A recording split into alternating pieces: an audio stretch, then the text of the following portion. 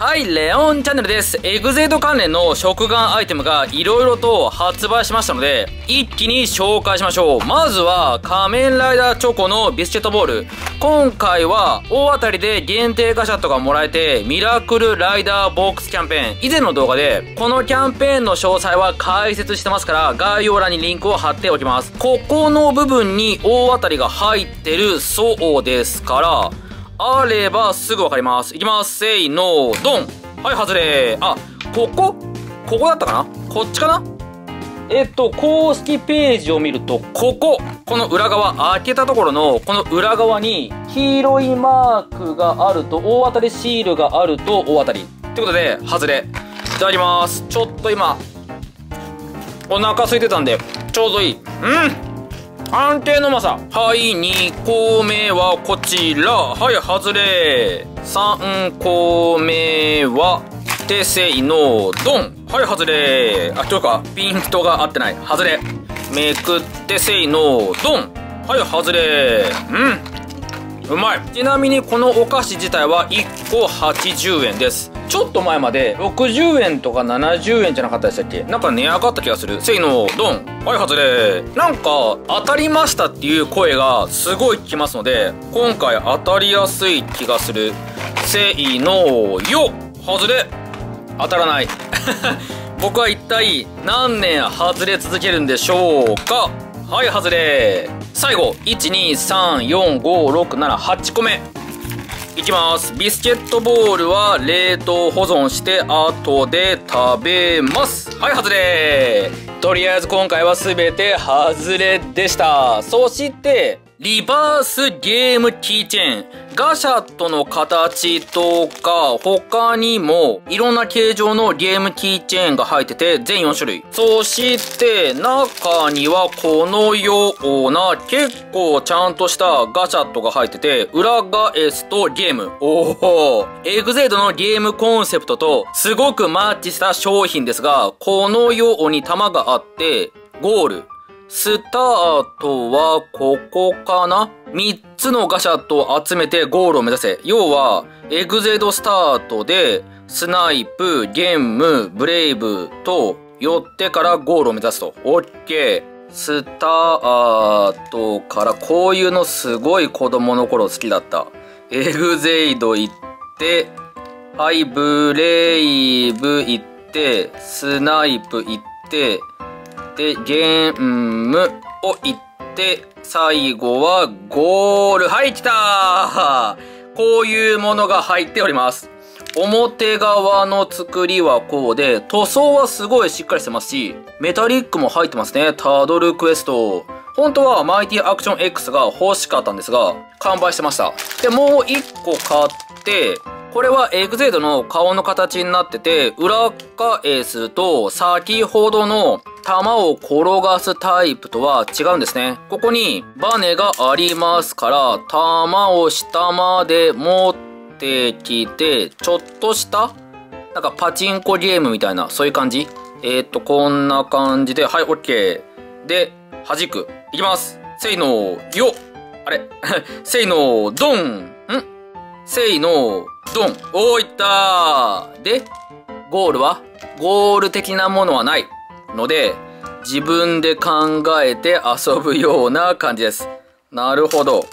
弾くのも面白い。でも個人的にはこっちのガシャットタイプの方が好きかな。これが1個300円で売ってました。うん。悪くない。では、恒例のエンスカイコレクションカードガムのエグゼドバージョン。今回はこの3種類を買いましたので、これが1,2,3,4,5,6,7,8パック。8パックを一気に開けましょう。全25種類で1パックにカードが2枚入り。毎年このシリーズはいいですからね。カードラインナップは書いておりません。1パック目せいのおドンはいキラキラのエグゼイド決め技状態ですね。なんか解説が書いてあって、仮面ライダーエグゼイドのキックはクリティカルストライクと呼ばれる決め技だ。おお。今までこういう解説文はなかったですよね。で、005の仮面ライダーエグゼイドアクションゲーマーレベル2でこのように光っております。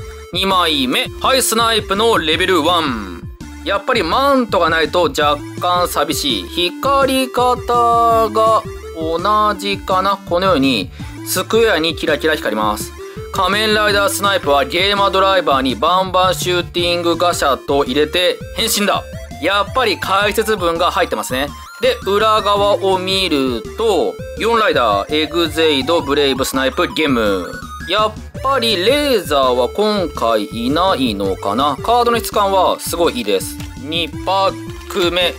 恒例ですけど、変身前が欲しい、セイの、ポッピーピーポーパポとか、あの辺もいいですね。アスナもいい。せーのー、ドン。はい、あ、ちなみにガムが入ってました。ブレイブのレベル2で、さらにドン、エグゼイドレベル2。これもすべて解説文が載っております。仮面ライダーブレイブのガシャコンソードは炎と水のパワーでバグスターを切り裂くぞ。炎と氷じゃなかったっけ？エグゼイドは誰よりもゲームが得意。子供の頃から難しいゲームに挑戦してきた。ほー。いいっすね、解説。わかりやすい。3パック目、せいのよはい、エグゼイドのレベル2で、さらにドンお、レーザーあるレーザーのレベル1。いいじゃないですか。これは、ポッピーピポパポも来る流れ。